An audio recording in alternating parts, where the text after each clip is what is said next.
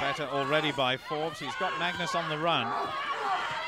But Magnus definitely not letting Cowan have it all his own way. He's coming back well.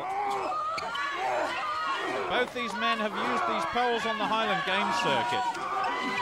And Magnus are not getting the short contest he wanted. This is fantastic. It's full of aggression from both men. Forbes almost letting him push him along a bit. And now